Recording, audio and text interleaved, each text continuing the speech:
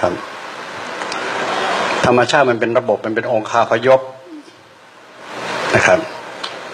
ถ้าหาก็จะบอกว่าดิน น้ำลม ความร้อนข้อร้อนคือไฟนะครับ ของสามสี่สิ่งเนี่ยมันมันก็ต้องรักษาความเป็นธรรมชาติของมันเอาไว้นะบอกให้ทราบไว้ ตัวมันเองนะต้องรักษาความ เป็นธรรมชาติของมันเอาไว้ ทีนี้ ดินน้ำลมและความร้อนที่ว่านี้มันจะมีแกนของมันอยู่ แกนที่ก่อให้เกิดความเชื่อมโยง ว่าจะต้องมีการปรับธาตุทั้งสี่แกนที่ว่านั้น ลุงออกจะบอกว่าคือพลังงานบริสุทธิ์นี่แหละนั่นเป็นแกน เมื่อพลังงานบริสุทธิ์มันทำงาน ทางด้านดินน้ำลมและความร้อนของโลก มันก็จะเปลี่ยนแปลงแล้วก็แปรผันอย่างรุนแรงนะครับ ทั้งว่ามาทั้งหมดนี้ก็ถือว่าเป็นสิ่งที่อยู่นอกตัวเรา หรือเรียกว่าสิ่งแวดล้อมซะทีนี้กลับมาถึงตัวเรา ตัวเรามันก็เป็นส่วนหนึ่งของธรรมชาติที่ว่าอยู่ในธรรมชาติมันนี้ไม่ออกหนีจากธรรมชาติไม่ได้เลยนะเพราะฉะนั้น ตัวเราจะต้องให้รู้จักตัวเราก็คือแกนของพลังงานที่ว่านี้ด้วย ตัวเราจึงจะรักษาตัวเราได้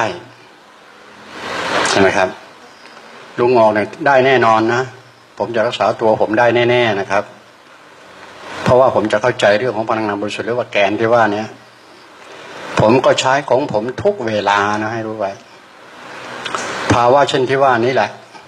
เป็นคำพูดของพระพุทธเจ้าที่ให้ไว้กับชาวโลกคืออากาลิโก อากาลิโกเนี่ย มันเป็นภาวะที่มันสุดยอดมาก ๆ มันมีการปฏิบัติได้เพียงอย่างเดียวเท่านั้น ไม่มีตำราที่จะมาให้ตำราก็มีแค่ภาษาสื่อสารกันนั่นเองนะครับ ภาวะอากาลิโกเป็นภาวะที่ทำมาเองได้ รู้ตัวเองเข้าใจตัวเอง เห็นตัวของเราเองจนหมดตัวตนของตัวเราเองที่แท้จริง นี่คือภาวะของคำว่าอากาลิโก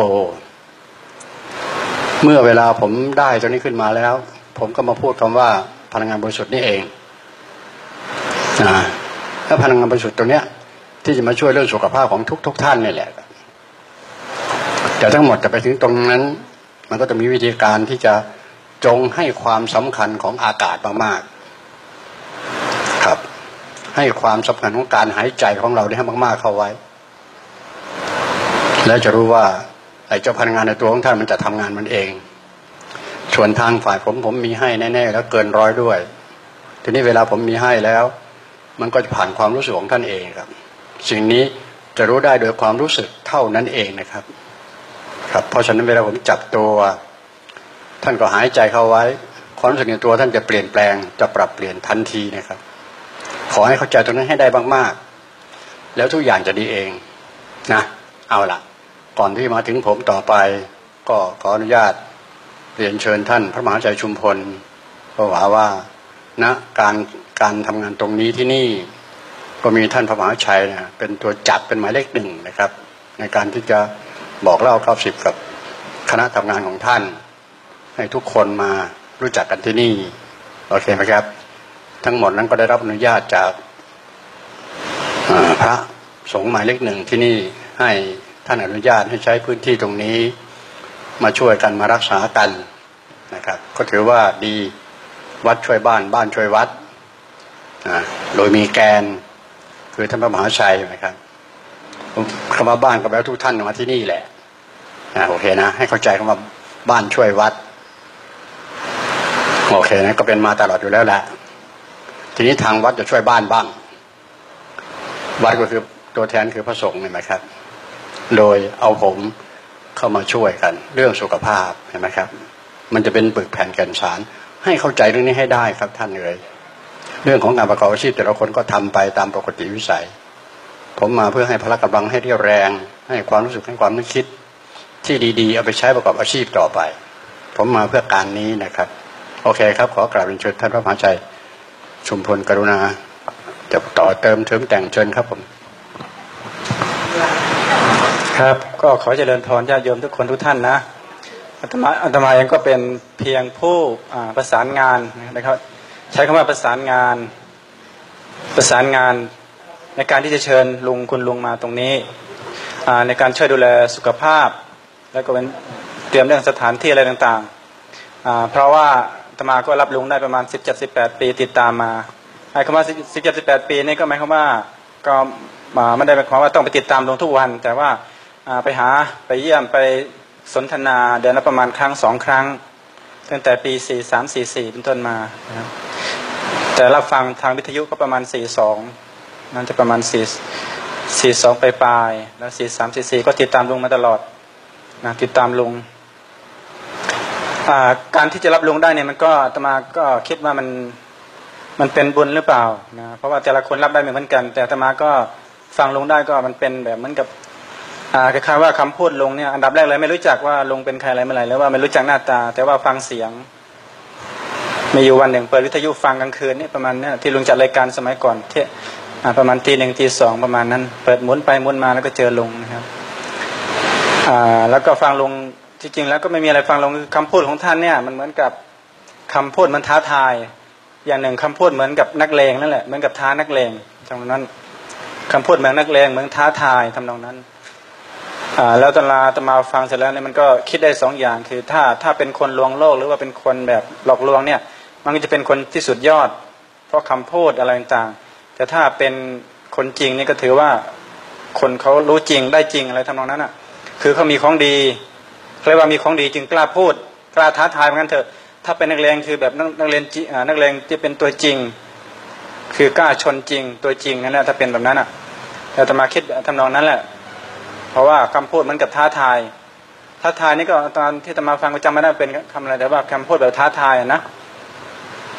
คือ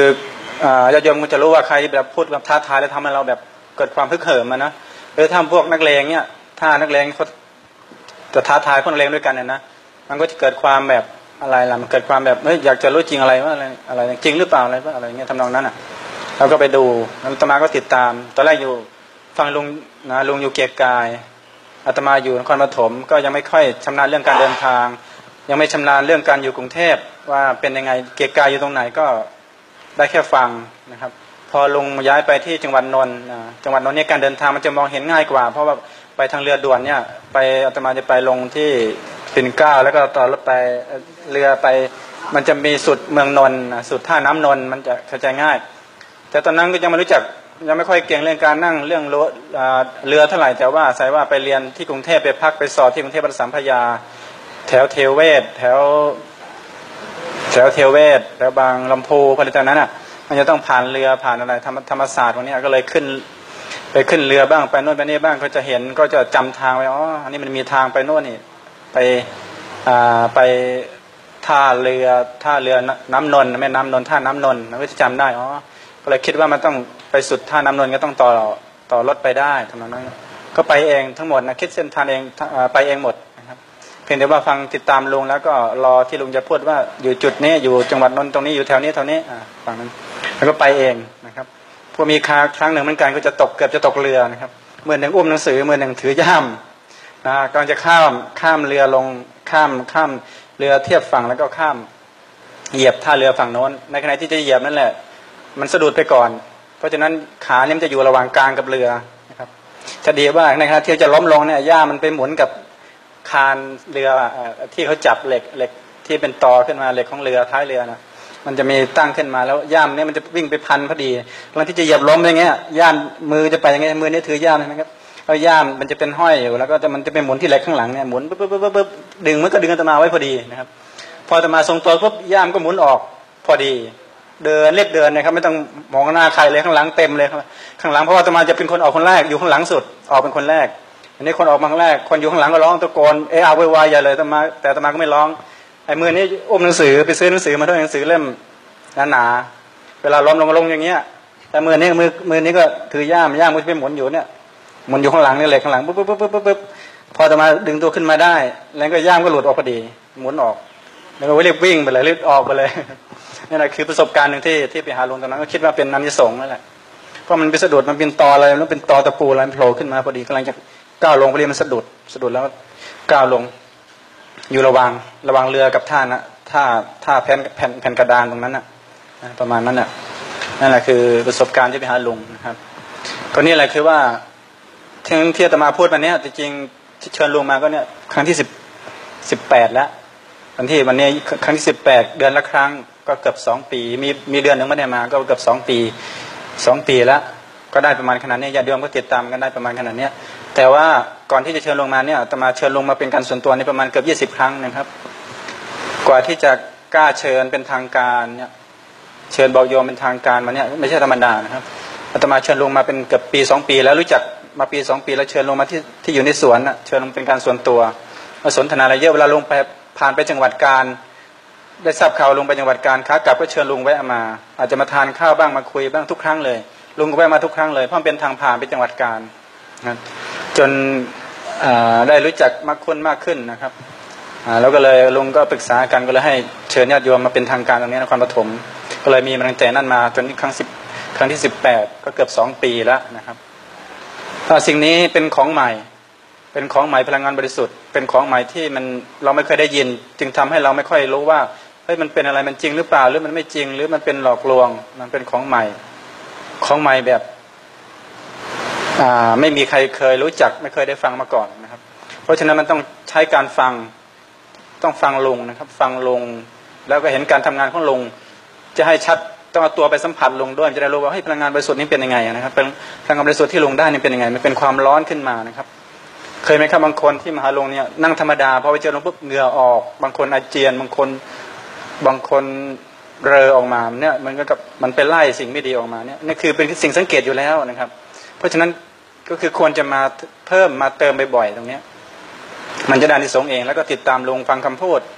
อาตมาฟังเองปุ๊บอาตมาบางทีฟังปุ๊บรู้เลยว่ามันคือมันคือเป็นคำพูดที่มันลึกซึ้งแล้วถ้าเราติดตามลงจริงๆอะคำพูดไม่เหมือน คือไม่เหมือนใครนะคำพูดเขาลึกซึ้งนะละเอียดคำพูดลุงลุงสังเกตเมื่อคืนอาตมาคิดดูอ๋อมีคนคนหนึ่งที่เขาฟังลุงแล้วเขาคอมเมนต์ว่าคำพูดลุงบอกคำพูดลุงน้ำเสียงลุงน่าฟัง แต่อาตมาก็ฟังอ๋อมันน่าฟังก็เพราะว่าลุงเนี่ยเวลาท่านพูดเนี่ยท่านไม่ต้องคิดแล้วเขาคิดว่าอาตมาคิดเองคือคำพูดลุงเนี่ยก่อนที่ท่านจะพูดเนี่ยท่านมองเห็นไปสี่ห้าห้าน้ากระดาษแล้ว ท่านรู้ไปสี่ห้าหน้ากระดาษแล้ว ถ้าเป็นถ้าเป็นเอกสารอย่างเงี้ย หมายความว่าลุงท่านคิดไว้ก่อนที่จะพูดเนี่ยสี่ห้ากระดาษ ส่วนพวกเราคนธรรมดาเนี่ยพูดไปด้วยคิดไปด้วยบางทีมันมีเออมีอ่า มีเออเอออย่างเงี้ยแม้กระทั่งนักข่าวอ่านอะไรก็ตามก็มีบางทีเขาก็มีพวกเนี้ยมีเออมีอ่าแล้วมีเวลามันจะมีช่วงคิด แต่ลุงนี่ท่านไม่ต้องคิด ท่านจะพูดเร็ววันนี้ก็ได้ เพราะท่านคิดล่วงหน้าเป็นสี่ห้ากระดาษแล้ว พอถึงหน้ากระดาษที่สี่สุดท้าย ท่านก็คิดไปอีกเพิ่มอีกเป็นสี่ห้าหน้ากระดาษเรียนเดียวเรียนคิดไว้เป็นเล่มเลยเนี่ยท่านคิดไปหมดแล้วเพราะฉะนั้นเวลาท่านพูดเนี่ยท่านจะไม่ไม่มีคำว่าคิด ม่มีคำว่าเออคือที่ท่านพูดช้าแล้วท่านพูดแล้วให้เราคิดตามนะครับ แล้วสิ่งเหล่านี้ที่ลุงได้มาก็คือผ่านจากการสมาธิจิตชั้นสูงนั่นเอง แล้วที่ผ่านมาก็คือผ่านแบบไม่ต้องไม่ต้องปฏิบัติแบบชีวิตเข้าแรกเหมือนกับเกจิอาจารย์ทั่วไป ไม่เหมือนกับหลวงปู่มั่นหลวงปู่ชาหลวงปู่เกจิอาจารย์ต่างๆท่านจะปฏิบัติธรรมอยู่ป่าอยู่ถ้ำอะไรก็ใช้ชีวิตเข้าแรกว่างั้นเถิดจึงจะได้มา ได้มาแล้วก็ได้มาไม่เยอะด้วยนิดเดียว แต่ลุงไม่ต้องไปทำอย่างนั้น ลุงก็ดำเนินชีวิตธรรมดานะไม่อยู่ข้างหนึ่งลุงไปอยากจะไปไหว้พระนเรศวรที่สุพรรณกันนั่นเองขากลับท่านก็ยืนปัสสาวะในขณะที่ยืนฉี่นั้นก็มีแสงมายิงที่สีข้างนั่นเอง จุดเริ่มต้นที่ท่านได้คือแสงมายิงเข้าที่สีข้างนั่นเอง ท่านก็สะดุดในขณะที่เยี่ยวนั่นแหละสะดุดปุ๊บเลยนั่นเองตั้งแต่นั้นมาท่านขับรถกลับบ้าน ท่านก็ไปรู้อะไรทุกอย่างเป็นนอน ไปถึงบ้านปุ๊บก็นอนมันก็รู้ทุกอย่าง รู้โลกเราเสร็จแล้วก็ไปรู้โลก รู้นอกโลก รู้จักรวาลรู้ไปหมดเลย รู้แจ้งไปหมดเลย กว่าท่านจะมามาบอกพวกนี้ได้ท่านท่านก็ใช้เวลาสองปีสามปีคำว่าพลังงานบริสุทธิ์เนี่ยท่านได้มาแล้วท่านก็รู้ว่าใช้ทำอะไรนะเนี่ยขึ้นลงได้อย่างนั้น คือก็ได้ม่รู้จะม่รู้จะทำอะไรม่รู้ว่าใช้ประโยชน์อะไร แต่พอเจอคนนั้นจับคนนี้บ้างคนนั้นปวดหัวไปตีหัวเอาหายปวดหัวอะไรอย่างเงี้ยก็สังเกตเฮ้ยมันมีพลังจริงนี่อะไรอย่างเงี้ยมันก็มีพลังอยู่แล้ว แต่ไม่รู้ว่ามันใช้ทำอะไรบ้าง ไม่รู้ว่ามันใช้รักษาโรคอะไรบ้างไม่รู้ต้องค่อยๆต้องค่อยๆ เอาพลังงานนี้ไปใช้จนตอนนี้ลุงก็ใช้ได้หมดแล้วแม้กระทั่งหยุดฝนก็ได้หมดแล้วทำให้ดูนะครับ ถ้าเราติดตามดูจริงๆไหมถ้าเราสนใจจริงๆดูแค่ดูการทำฝนก็ได้ใครจะไปตัดต่อใครจะไปถ่ายภาพตัดต่อฝน ให้ฝนหยุดได้ มันเป็นหยุดของมันเองนะครับใครจะไปห้ามไม่ให้มันหยุดมันหยุดเองครับ ก็ลุงก็ต้องใช้พลังตรงนี้มันจะหยุดแล้วมันจะเร็วขึ้นนะครับนี่คือเป็นเครื่องยืนยันที่ยุงลุงทำเนี่ยเป็นเครื่องตรงการให้คนเห็นแค่นั้นเอง แต่ลุงก็ทำได้อยู่แล้วก็ทำมานานเนี่ยทำตั้งแต่ปี ห้าแปดห้าเก้าแล้วตั้งแต่ห้าหนาแรงอ่าแรงแรงสุดๆของปีห้าแปดต่อห้าเก้าอาตมาก็ติดตามมาตลอด ตอนที่ลุงไปที่จังหวัดนครสวรรค์อาตมาคิดว่าจะไปเยี่ยมมันกันวันนั้นลุงไปสามเดือนก็ไม่มีเวลาไปไม่ได้ผ่านนะลุงไปยืนตากแดดตากฝนอยู่อย่างเงี้ยอยู่สามเดือนสู้กับแดดความร้อนเนี่ย ก็สู้ได้ไม่เห็นเป็นไรนะครับ จนท่านค้นพบมาแล้ว จะทำให้ฝนตกก็ได้ฟ้าร้องก็ได้ จะทำให้หยุดฝนก็ได้นี่จึงเป็นสิ่งที่โชคดีนะไม่มีใครทำได้นะครับ คนที่จะทำสิ่งนี้ไม่มีได้เพราะฉะนั้นเมื่อเรารู้ว่าท่านมีความสามารถแบบนี้เรามีเราถึงอายุถึงวัยขนาดนี้แล้ว ก็ต้องติดตามลุงจนบั้นปลายชีวิตจนสุดลมหายใจ มันจะเป็นบุญทำให้ลูกมีหลานก็บอกลูกบอกหลานสืบทอดมรดกไว้เนี่ยติดตามลุงคนนี้ไว้นะครับพอใครติดตามจะเป็นในสวนจะเป็นบุญ ไม่เคยมีสองพันกว่าปีนี้ยังไม่มีใครเกิดมาตรงนี้ก็ยังไม่มีใครได้สิ่งนี้สองพันกว่าปีนะนี่ตมาพูดนี้ตมารู้ได้ยังไง ก็ตมาติดตามลุงมานานเห็นไหม พอติดตามลุงมานานจึงรู้ว่าลุงมีสุขภาพอะไรจึงเชิญลุงมาตรงนี้ได้นะครับ แล้วก็พยายามติดตามพยายามเชิญคนนู้นคนนี้มา ใครไม่สบายก็พยายามบอกมาตรงนี้ ถึงบอกว่าเป็นของใหม่เพราะฉะนั้นเมื่อของใหม่พวกเราต้องพยายามฟังเวลาลุงพูดก็พยายามฟังนานๆฟังบ่อยๆฟังให้จบ มันจึงจะรู้นะแต่นี้ส่งมาก แล้วก็สำคัญคือสองพันกว่าปียังไม่มีใครได้ ที่จะมาพูดได้หมดเนี่ยจะมารู้พูดอะไรก็ถูกหมด เพราะว่ารู้ว่าที่จริงแล้วก็รู้ว่าลุงคือใครด้วยนะครับ ที่พูดมาเนี่ยที่จริงลุงเขาเป็นใครเขามีชื่อของเขาที่เขาเกิดมาในทางพระพุทธศาสนาด้วย ในทางพุทธศาสนานะครับบางคนก็เดาไปนู้นวันนี้นะถูกยาก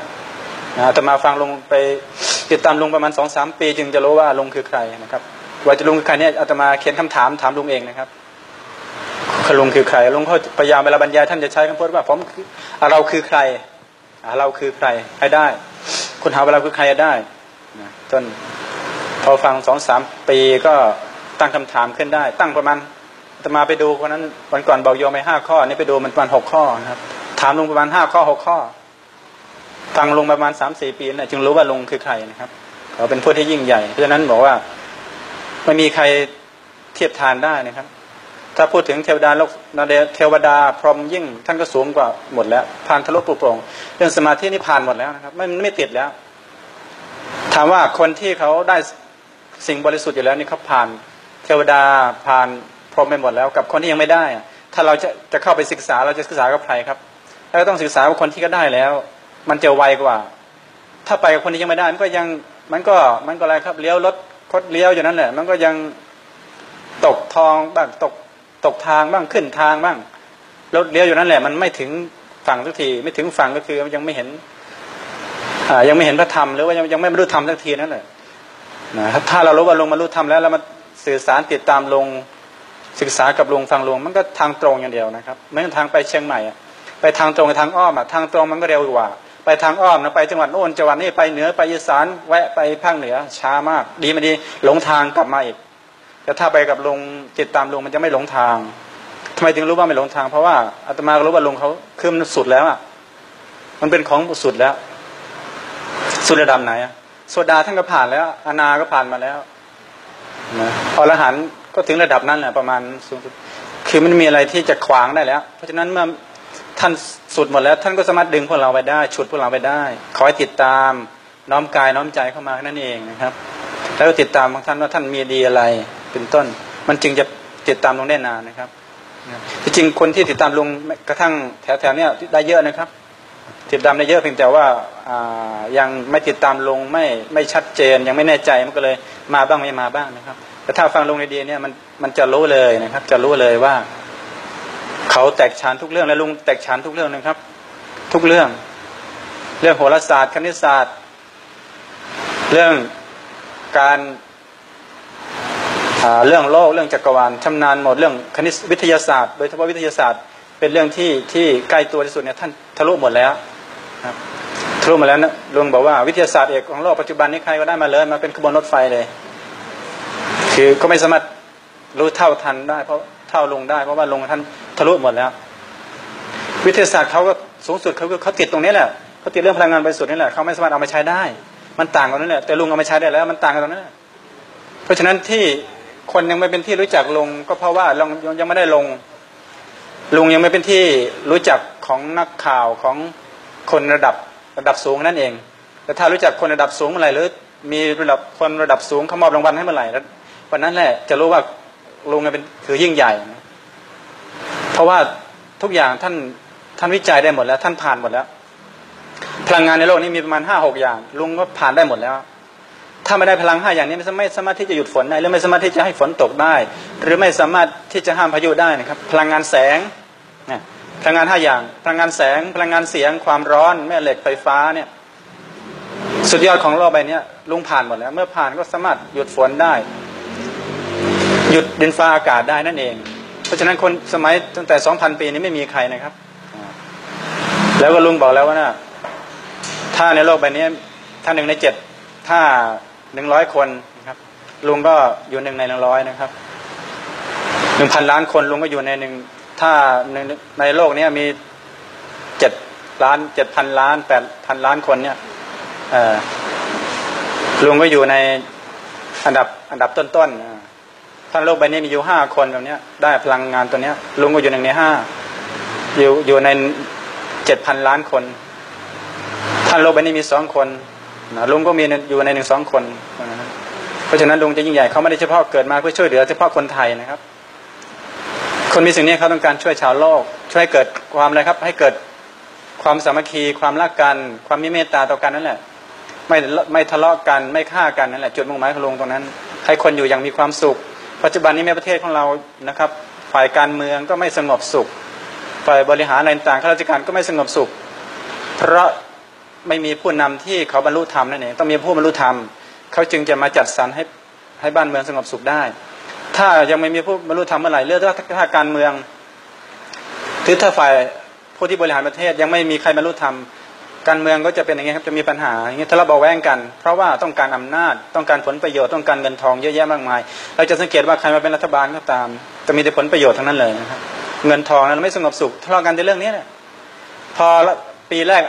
สองเซนสองสามเดือนแรกก็จะดีนะครับ จะดี พอเป็นปีไปก็จะมีผลประโยชน์อันนั้นจะเข้ามานี่จะเข้ามาครับ เพราะว่าไม่มีใครบรรลุธรรมนี่แหละเพราะฉะนั้นหนึ่งในนั้นคือลุงนี่แหละผู้เป็นผู้บรรลุธรรมจะมาช่วยเหลือชาวโลกให้ชาวโลกเข้าใจกันสามัคคีกันไม่ทะเลาะกันอันที่จะมาว่าแหละเพราะฉะนั้นเมื่อเราติดตามนี่เราได้พยายามติดตามลงให้ได้ ติดตามลงแล้วจะเป็นในสงเองแล้วก็บอกลูกบอกหลาน เราบรรปลายชีวิตแล้วเรารู้ว่าลุงคือใครมีศักยภาพสูงพอคนเฒ่าคนแก่สมัยก่อนเขาจะรู้ว่าคนที่มีบุญจะเป็นยังไง คนที่มีบุญมากจะเป็นยังไงอ่าคนที่มีบุญมากคือบรรลุธรรมโสดา สกิทานาหรืออรหันต์นี่เขาเรียกว่าคนมีบุญ เรารู้เสร็จเราศึกษามาก่อน แล้วก็บอกลูกบอกหลานต่อให้ลูกหลานติดตามมานะครับลุงบอกลุงจะมีอายุถึงสองร้อยปีนะครับ ตอนนี้ลุงอายุเจ็ดสิบสี่ลุงก็เหลืออีกประมาณอายุประมาณร้อยยี่สิบกว่าปี เด็กที่เกิดวันนี้ก็ต้องไปไปก่อนลุงตายก่อนลุงนะครับ เพราะฉะนั้นลุงยังมีโอกาสลุงบอกถ้าลุงอายุร้อยปีเมื่อไหร่ลุงตอนนี้เจ็ดสิบสี่ลุงบอกถ้าอายุร้อยปีลุงจะพูดทั้งหมดนะจะไม่ปิดอะไรที่มันเป็นเครื่องที่กั้นความเจริญปิดความเจริญลุงจะพูดหมดเลยนะครับ เพราะฉะนั้นคือลุงจะรู้ทุกอย่างรู้มันก็ทั้งว่าลุงบอกว่าในโลกในประเทศไทยเราจะรู้ว่าไม่มีไม่กี่คนนะครับ ที่เป็นตัวขัดขวางความเจริญของประเทศนะตัวที่ทำลายประเทศลุงจะรู้หมดแม้กระทั่งเรื่องแผนที่โลกอะ แผนที่โลกเนี่ย น้อยคนที่จะแบบเข้าใจมากเข้าใจทุกที่ทุกเวลาทุกจุดว่าตอนนี้โลกโลกเป็นยังไงเป็นยังไงลุงรู้เข้าใจหมดเลยนะครับลุงไม่ต้องไปศึกษาที่ไหนลุงรู้ได้สมาธิจิตเองแล้วก็ เอาแผนที่โลกมาโลกกลมๆมาแล้วลุงจะรู้ว่าจุดนี้เป็นอะไร จุดนี้กำลังร้อนกำลังเย็น จุดนี้เรามีปัญหาอะไรลุงจะรู้หมด นี่คือสมาธิจิตจะไปรู้หมด รู้นอกโลกอีกนะโลกจักรวาลนะครับ นอกโลกเราก็มีลุงก็รู้ทั้งหมดนะครับมีคนถามบ่อยนะครับ ว่ามนุษย์ต่างดาวมีจริงไหมลุงก็พยายามจะตอบนะครับลุงพยายามจะตอบให้เราคิดนะครับมนุษย์ต่างดาวมีจริงแต่บางคนว่าเห็นเป็นจานเป็นอะไรเงี้ยคิดว่านั่นมนุษย์ต่างดาวนะ นะครับ แต่ลุงก็ไม่พูดนะเป็นอันนี้คือเป็นอันนั้นคืออะไรนะแต่ลุงจะไม่พูดให้เราคิดพูดแล้วว่า คนที่จะว่ารู้ว่าเป็นมนุษย์ต่างดาวเนี่ยมันต้องสื่อสารกันได้ คือต้องจิตระดับสูง สื่อสารระดับจิตมันไม่ใช่มาเป็นตัวตน มันต้องสมาธิจิต สมาธิจิตระดับระดับไหนก็ต้องสมาธิจิตระดับสูงระดับอรหันต์นั่นแหละจึงจะสื่อสารมนุษย์ต่างดาวได้เขาก็สื่อสารเขาสื่อสารเราได้ ถ้าเราบรรลุธรรมระดับอรหันต์สูงสุด จิตสื่อด้วยจิตนั้นจะเห็นจิตด้วยกันเห็นกันหมดเลยนะครับ เหมือนกับเราขึ้น ขึ้นเหนือกำแพงเราจะเห็นหมดเลยว่าใครที่อยู่นอกกำแพงจะเห็น ถ้าเราอยู่ต่ำนอกกำแพงก็จะมองไม่เห็น เพราะฉะนั้นท่านเหนือกำแพงคือผู้มนุษย์ธรรมจะมองเห็นว่าใครเป็นมนุษย์ต่างดาวเขาก็นอกโลกอื่นเขาก็คิดว่าเราเป็นมนุษย์ต่างดาวเขาแหละเราก็เป็นมนุษย์ต่างดาวเขาแต่ต้องบรรลุธรรมระดับอรหันต์จึงจะสื่อสารกันได้นะครับ มีคนถามลุงเยอะถามในเฟซอะเพราะฉะนั้นติดตามลุงในเฟซให้ดีพยายามเปิดหาเฟซให้ได้ลุงเพราะว่าจะติดตามลุงได้ทำตาม Facebook นะครับลุงจะออกทางวิทยุทางโทรศัพท์ Facebook ทุกสองทุ่มทุกวันอาตมาก็เปิดฟังทุกวันนะครับนะมันก็จะเข้าใจง่าย ฟังลงแล้วเข้าใจง่าย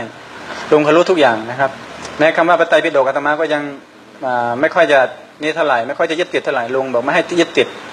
เพราะมันเป็นภาษาเก่าที่ยังไม่ได้เปลี่ยนแปลงถึงยุคใหม่ ภาษาลงเป็นภาษาใหม่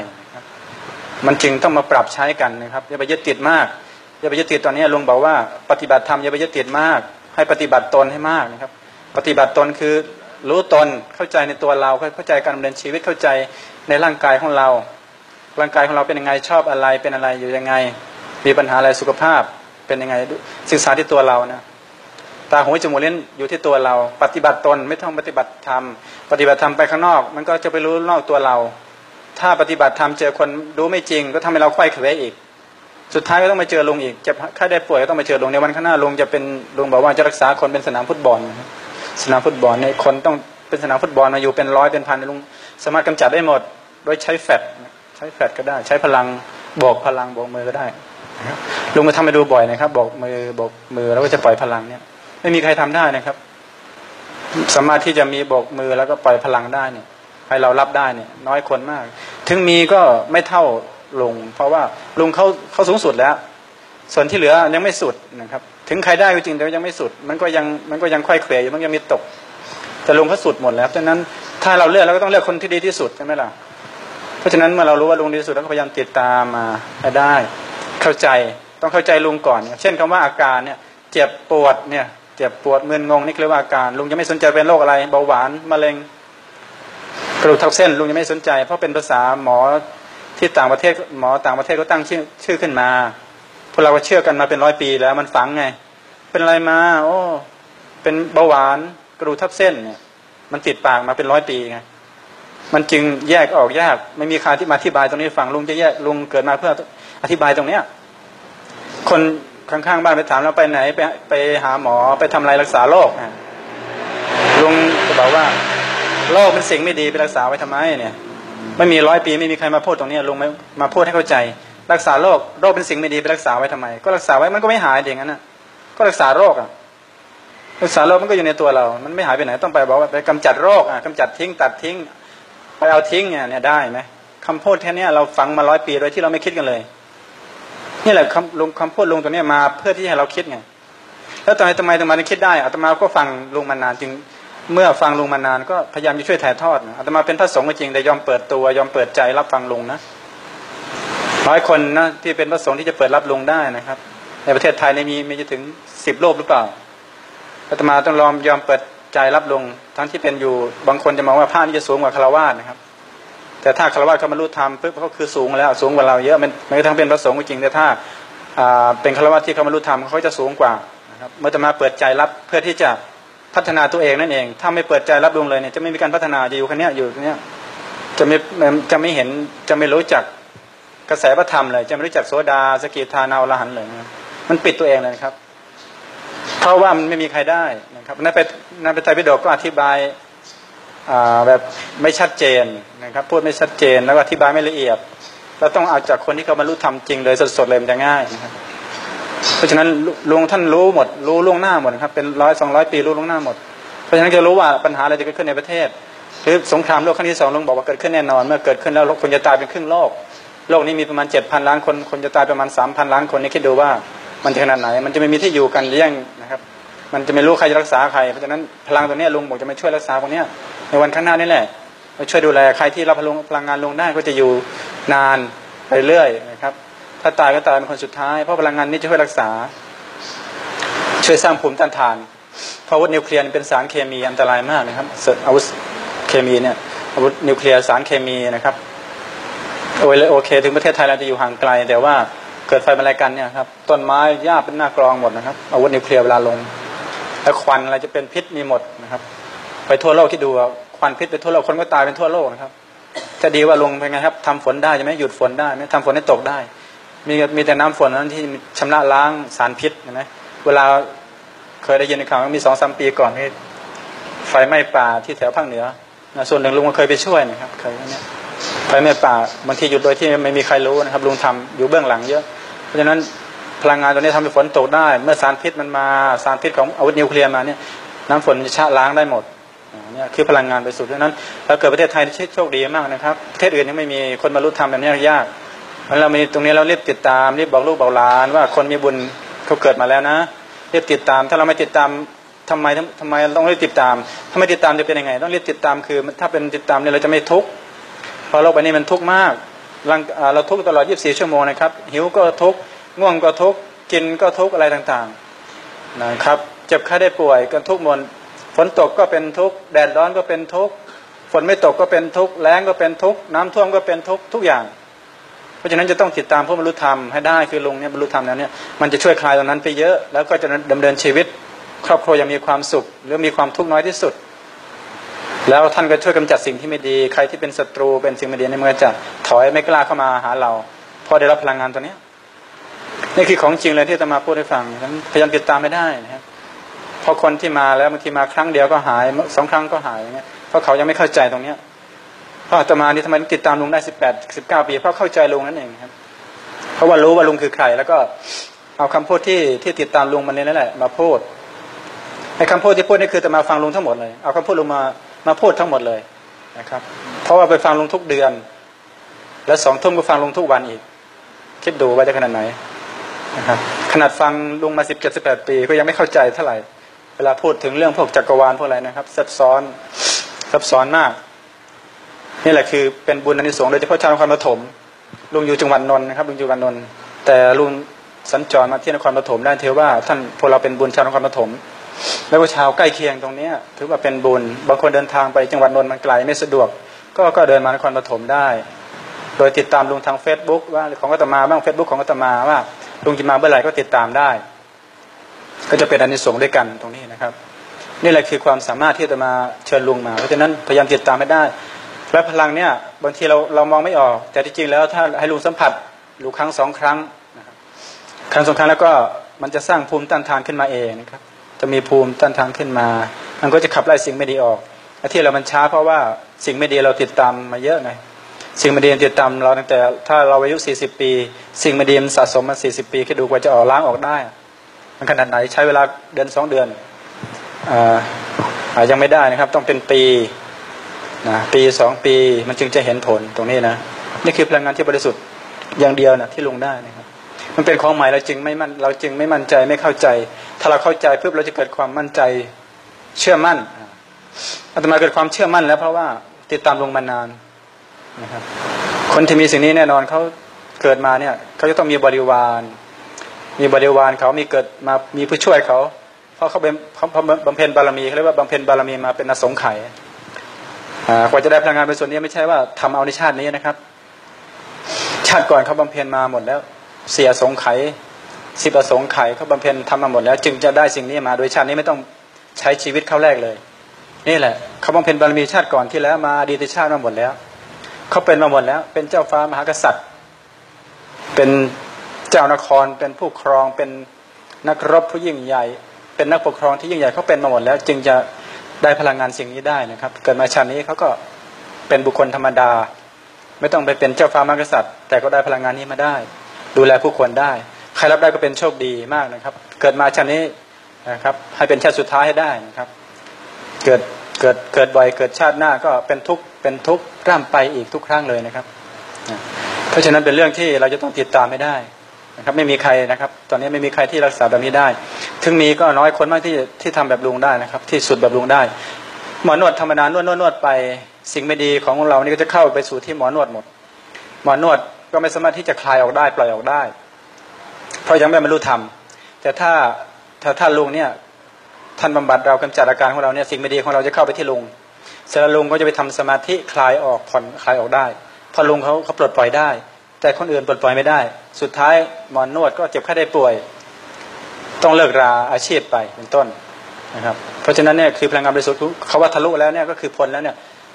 ไม่มีใครทำอะไรเขาได้แล้ว เชื้อโรคก็ทำอะไรลุงไม่ได้นะครับ ฉีดเชื้ออะไรก็เขาทำลงอะไรลงม่ได้ ตอนนี้ลุงจะไม่ค่อยพูดนะครับจะมารับลงได้แล้วก็พูดเชื้อโรคทำอะไรก็ลงไม่ได้ไม่ก็ทั้งฉีดก็ไปก็ทำอะไรไม่ได้ เนี่ยเป็นเพราะอะไร เราไปกลัวเชื้อโรคทุกคนกลัวเชื้อโรคไปหมดจะลุงไม่กลัว เพราะมันฉีดเข้าสู่ร่างกายก็ทำอะไรไม่ได้ เพราะอะไรข้างในก็ต้องมีภูมิต้านทานดีนั่นเองครับต้องมีภูมิต้านทานดี จึงจะตรงนี้ได้ จึงจะป้องกันได้ จึงจะไม่กลัว ส่วนพวกเรานี่กลัว ส่วนลุงไม่กลัวนะครับ ลุงจะทานอะไรก็ไม่เป็นไรนะครับ ทานลุงวันก่อนลุงก็พูด ทานของเน่าของเสียทานไปก็ไม่มีปัญหาต่อสุขภาพ ท้องก็ไม่เสียนี่คือบอกว่านอกจากเป็นลุงได้พลังงานบริสุทธิ์แล้วร่างกายเขามันบริสุทธิ์หมดแล้ว รับได้ทุกอย่างผ่านได้ทุกอย่างไม่เป็นอะไรนี่คือความพิเศษ เมื่อเรารู้ว่าท่านมีความพิเศษแบบนี้แล้วก็พยายามติดตามให้ได้ บอกลูกบอกหลานให้ได้ ให้ติดตามฟังแล้วจะเป็นประโยชน์เองแม้กระทั่งลุงจับเด็กเด็กเรียนหนังสือเก่งมาก มันต้องปรับความคิด เด็กมันยังไม่รู้จักความ ความอิจฉาริษยา เด็กไม่รู้จักไม่รู้จักความโลภความหลง มันยังบริสุทธิ์เนี่ยเจอพลังงานบริสุทธิ์ลงปุ๊บมันจะได้เลย มันได้เลย แล้วมันจะเกิดปัญญาเป็นอัจฉริยะดึงเด็กอันนี้มีความสามารถออกมาได้เลยเนี่ย เนี่ยตมาก็ทำมาบ่อยติดตามมาบ่อยเห็นเด็กพาเด็กมาบ่อยเห็นลุงทำแป๊บเดียวนะภายในสามสี่เดือนก็เห็นแล้วเด็กจะเรียนหนังสือเก่ง มีความคิดเป็นผู้นำเนี่ยนี่คือความสามารถจริงๆความสามารถของสุดยอดแล้ว เพราะฉะนั้นพวกเราพยายามติดตามไม่ได้ แล้วเมื่อมาแล้วก็มันต้องไปตามคิวเป็นเรื่องธรรมดานะไปตามคิวก็ต้องรอหน่อย ฝึกความรอ เมื่อมาแล้วพยายามรอหน่อยประมาณไม่ไม่นานเมื่อเรามาแล้วก็ต้องเปิดใจรอ ถึงแม้จะเย็นหน่อยก็ต้องรอนะพยายามอย่าไปรีบร้อนนะคำว่ารีบร้อนเนี่ยมันจะทำให้เราเนี่ยจะทำให้เราแบบติดขัดนะไม่ต้องรีบร้อนค่อยๆเป็นค่อยไปตามลำดับนะแม้กระทั่งลุงเองก็ยังไม่รีบร้อนเลยนะครับ ลุงเองมีความสามารถเยอะทำได้เยอะลุงบอก ความสามารถไม่ใช่เฉพาะช่วยเฉพาะคนไทยต่างประเทศได้หมด คนที่เขาเจ็บไข้ได้ป่วยต่างประเทศเป็นกับเรานะต่างประเทศเจ็บไข้ได้ป่วยกว่าเราเยอะนะครับเจ็บป่วยเยอะมาก แต่ลุงยังไม่ออกไปต่างประเทศเพราะยังให้คนไทยได้ก่อนนะครับเขาเรียกว่าไม่เอาความรู้นี้ไปขายต่างประเทศ ให้คนไทยได้ก่อน ลุงก็พยายามวนเวียนอยู่แถวนี้แหละวนเวียนอยู่เนี่ยแต่เนี่ยแหละเหนือสารเหนือนิสานใต้ประมาณนี้เพื่อจะให้คนคนไทยรับได้มากที่สุดก่อน ไม่อยากจะขายต่างประเทศความรู้ตรงเนี้ย ราะฉะนั้นพวกเราถือว่าโชคดีมากนะเออโชคดีมากที่รับตรงนี้ได้ พยายามติดตามลงให้ได้นะครับ แล้วก็ตมาก็เชิญลงมาทุกปีทุกเดือนทุกเดือนนะครับพยายามติดตามมามาได้ไม่ได้ติดภาระอะไรก็พยายามติดตามมาได้นะครับนี่สิ่งนี้สิ่งเดียวที่จะช่วยล้างสิ่งไม่ดีในตัวเราได้นะครับ ให้บริสุทธิ์ได้นะครับ ประมาณนั้นมีสิ่งนี้อย่างเดียวนะครับเพราะฉะนั้นพยายามติดตามลงให้ได้สองทุ่มทุกครั้งนะครับแล้วก็อาตมาก็พยายามเชิญลงมาตรงนี้ให้ได้นะเชิญลงมาตรงนี้นะพยายามเชิญลงมา จะสังเกตว่าคนก็ทยอยมานะครับคนก็ทยอยมาบางคนรู้เวลาก็จะมาทยอยมาบ้างที่จริงถ้าคนมันสองปีเนี่ยถ้าคนถ้ารับคนที่ตามลงจริงเยอะมากนะครับ เกิดเกือบจะเป็นพันนะครับที่จริงเกือบจะเป็นพันถ้าติดตามตรงจริง ๆ แต่บางคนมาครั้งเดียวก็ไม่มาบางคนมาสองวันก็ไม่มาเสียดายนะครับพลังงานตัวนี้มันมันรักษาได้หมดเลยแม้กระทั่งอาตมาติดตามลงเพราะฉะนั้นติดตามลงมานานจริงรู้ว่ามันลึกมากนะครับ รู้ว่า ร่างกายของเราเนี่ยลุงทำได้หมดแม้กระทั่งรู้ถึงว่าโรคเกี่ยวกับของผู้หญิงโรคผู้ชายอะไรจะรู้ได้หมดโรคผู้หญิงมันเนี่ยเกี่ยวโดยเฉพาะผู้หญิงนี่แหละเป็นฝ้าเป็นอะไรกันเยอะนะครับพลังงานตัวนี้มีแต่พลังงานตัวนี้ตัวเดียวที่จะไปช่วยขับล้างออกได้นะครับฝ้าอะไรเนี่ยผู้หญิงเป็นเยอะแล้วโรคอะไรที่เกี่ยวลึกๆของผู้หญิงพลังงานตัวนี้มันเข้าไปได้หมดเลย ทุกเซลล์ร่างกายเนี่ยเพราะฉะนั้นจึงบริสุทธิ์มาก ถ้าติดตามลุงนานๆใครที่ใครที่ติดตามลุงมาประจำจะสังเกตนะครับจะผิวพรรณจะดีนะครับ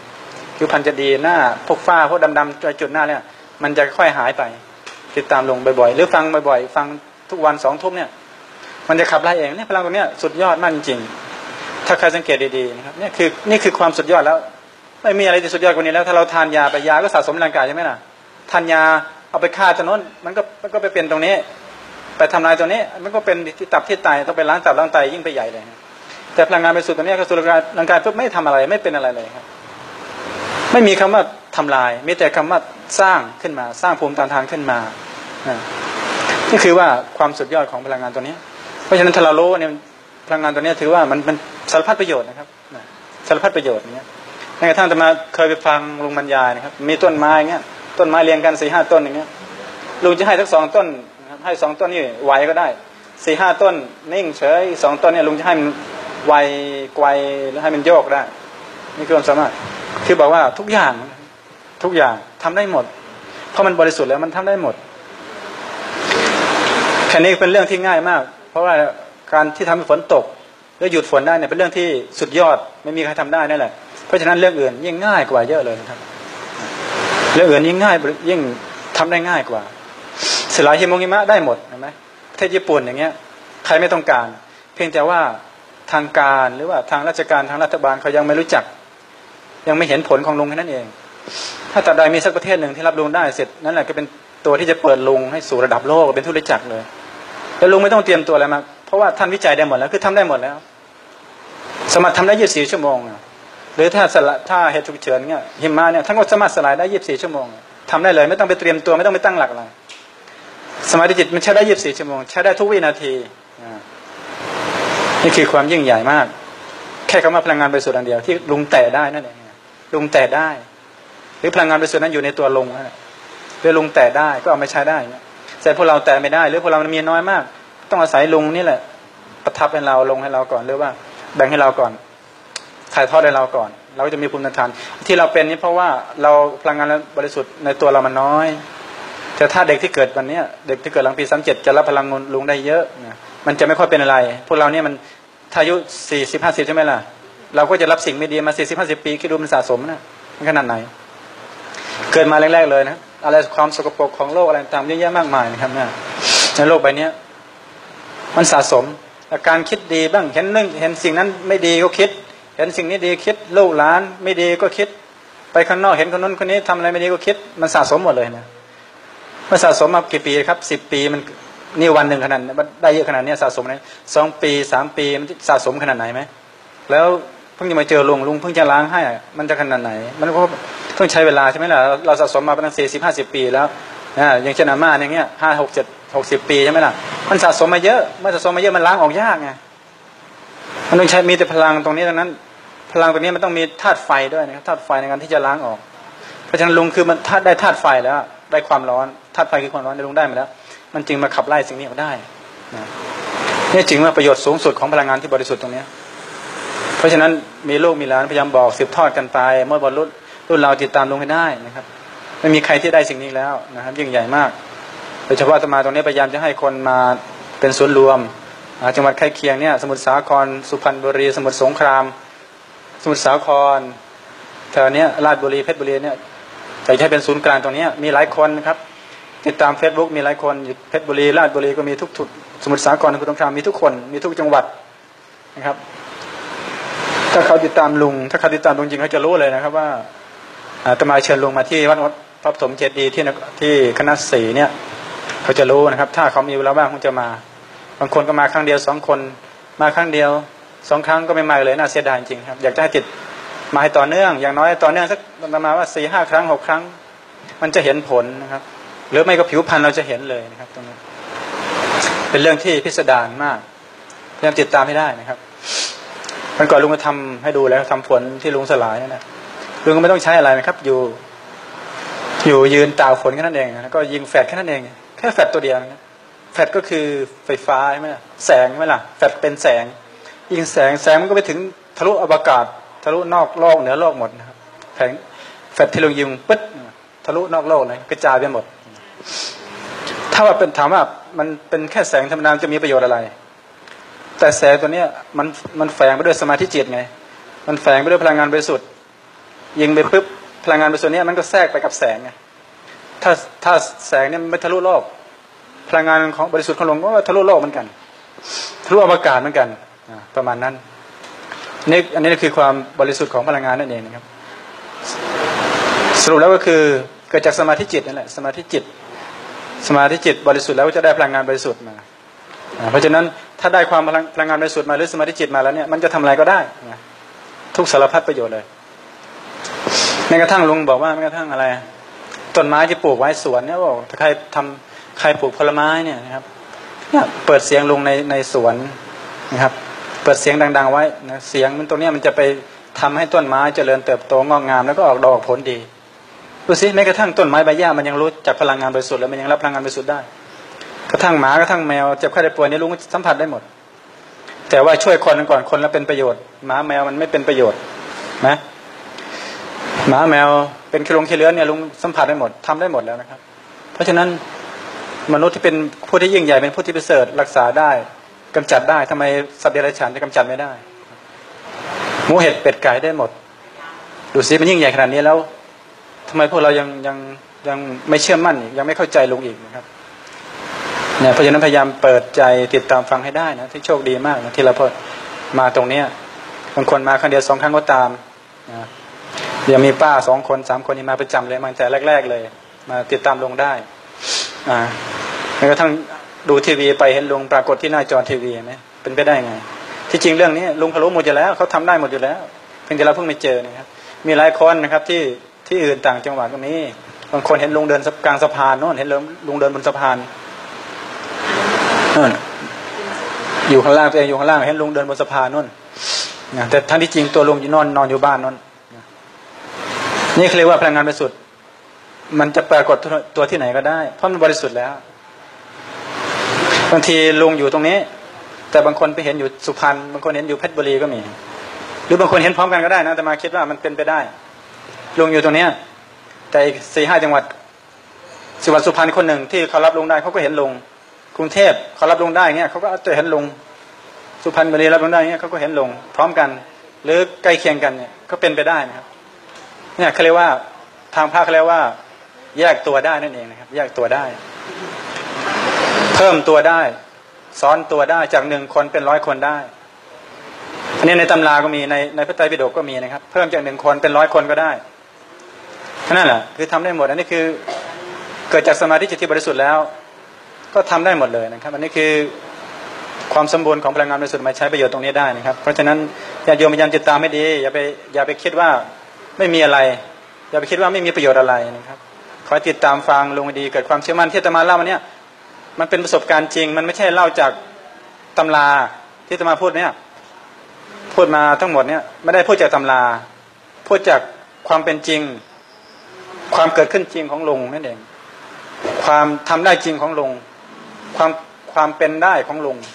ไม่ได้พูดจากตำราเลย ไม่ได้อ่านตำรามาพูดตำรานี่ใครเขียนมาก็ได้ใช่ไหมล่ะอ่านตามตำราแล้วก็ไม่รู้ความจริง แต่นี่มันมันปรากฏความจริงมา เห็นความจริงมา เห็นกับตา ฟังกับหูดูด้วยตา คิดด้วยใจ โอเคนะครับ ต่อไปพบกับลุงต่อนะอ่าฟังตามเวลาลุงพูดนะฟังตามดูความสามารถของท่านเวลาคุยเวลาพูดอะอ่าขอบคุณมากครับผม ว้าวว้าวเวลาฟังพระเทศไม่ต้องตบมือให้ท่านนะมีแค่พนมมือสาธุนะจบก็มีแค่นั้นเอง นั่นคือเรื่องของพระสงฆ์ห้ามไปตบมือให้ท่านไม่เอานะไม่ได้เลยนะ สาธุตาม เอาหายใจไว้เริ่มต้นทำปากจุจุดูดเข้าไป หันเริ่มดูดก่อน ดูดลมก่อน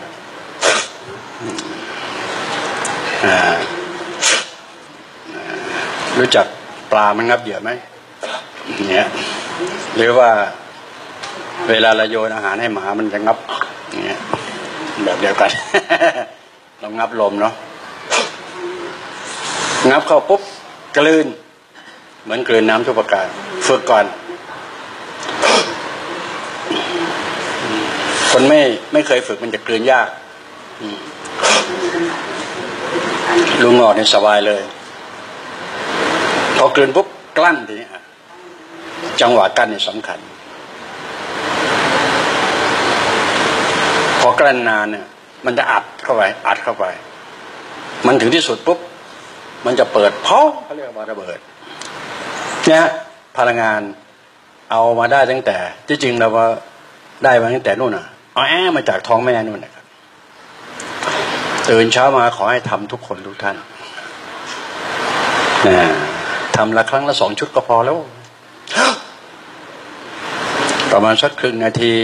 หนึ่งนาที นาทีครึ่งถ้าทำได้ เสร็จแล้วก็ปล่อยทิ้งไปสักห้าทีมาอีกทีหนึ่งชุดที่สองแค่นี้โอ้โห ทั้งวันสบายเลยร่างกาย โอเคนะ ก่อนนอนก็อีกชุดนึ แล้วก็ทำไปก็หลับสบาย บอกอากาศเป็นยาคือตรงนี้เองนะครับ โอเคนะ เอาล่ะก็ให้วิธีการตัวนี้ไปใช้ ต่อไปนี้ก็เจอลุงออกละสองมือเปล่า โอเคนะครับอะใครหนึ่งสามสี่ห้าก็มาตามลำดับเลยครับผม เอาเลยมาเลย